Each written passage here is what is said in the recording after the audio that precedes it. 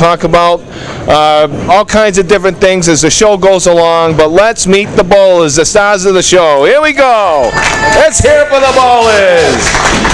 Representing the Frank, uh, the Ficos Bowlerdrome in Franklin, Mass.